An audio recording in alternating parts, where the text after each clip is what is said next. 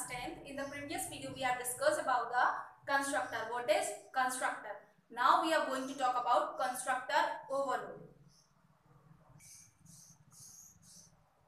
So class 10, constructor overloading. Overloading means what? When you are using number of constructor together in a particular program.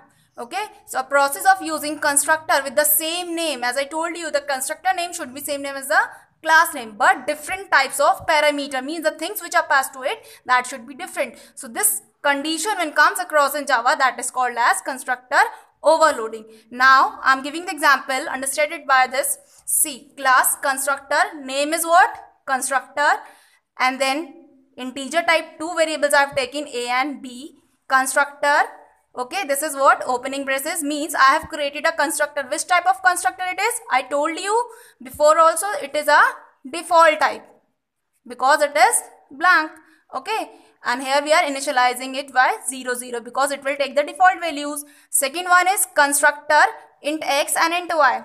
Here we are passing the parameters int x and int y. Two variables i have passed int x and int y. And these are a, these are known as parameterized constructor.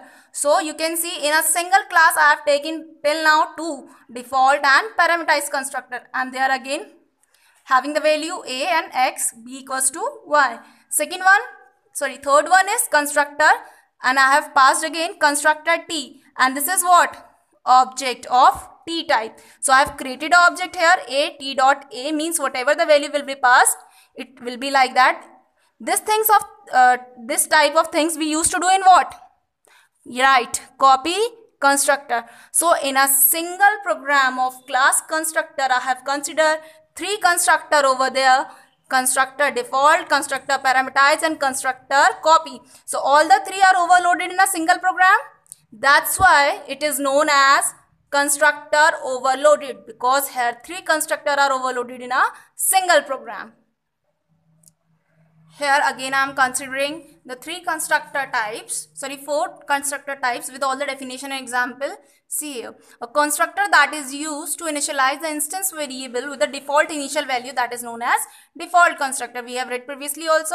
Example, I have taken C. See the program I have taken class D constant means I have taken default constructor. Okay, the class name is D const and we have taken the variables C of character type, A of integer type, L of long type, F of float type, D of double type. This all you know.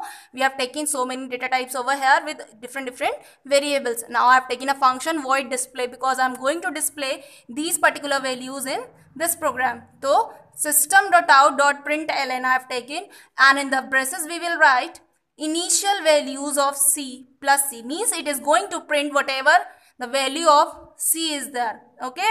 Similarly, we will print all the values of this with the help of SOPLN, C, A, L, F, whatever the user will give at the time that will get printed over here. Then see, I have created a main function because where they will display, first they should be called. So, public static void main, this braces string args, then d const ob. ob is what? Object is created with the help of new operator okay? Then d const because your class name should be same name as the constructor name and here we are going to display. So this display object will going to call here and the values will get printed c a l f d okay? Whatever the user will enter it will get printed. So this is the example of default So second is parameterized constructor. So it is a member method which is defined along the formal parameters whereas non-parameterized is defined without any formal parameters. You got the difference? Parameterized and non-parameterized. Non means we are not passing any formal parameter whereas in parameterized we are passing the values along with the formal parameter. This is the example of parameterized. See here I have taken a class name sample. Now the class name is sample. Integer A variable is there then sample int n means what? This is what? Same as the class name so this is what? Yes constructor. And that is parameterized with the value or passed with the value int n whatever the user will give. So that's why it is known as parameterized constructor. And a equals to n whatever the value defined by the user it will be there. Got it? So non-parameterized constructor are those that are passed without the formal arguments. As I told you right now, now uh, consider this example. Class sample integer two variables I have taken off integer type a and b. Again I have created class. This is what? Class? No, it is constructor default. Okay. Then I pass the value a and b. Okay. Then display. What we have to display the values of A and B only. So in SOPLN we will going to display the units.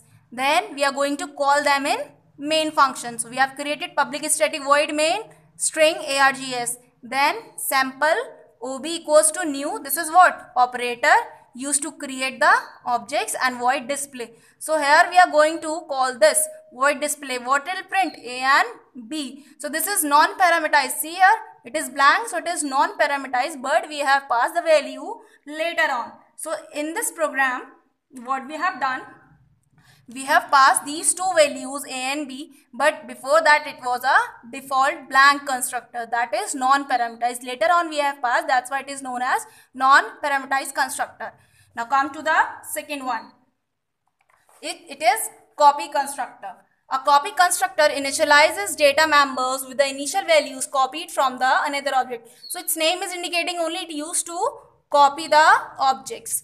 See the example over here. Class copycon means copy constructor I have taken the class name.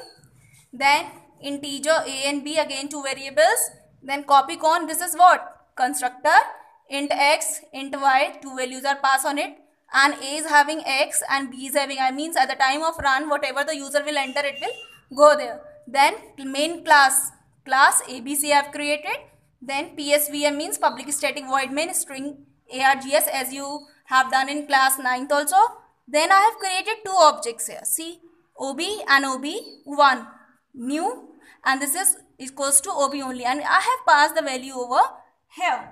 So in this program what we have done basically we have copied the value of these two constructors are basically used to copy the value of these.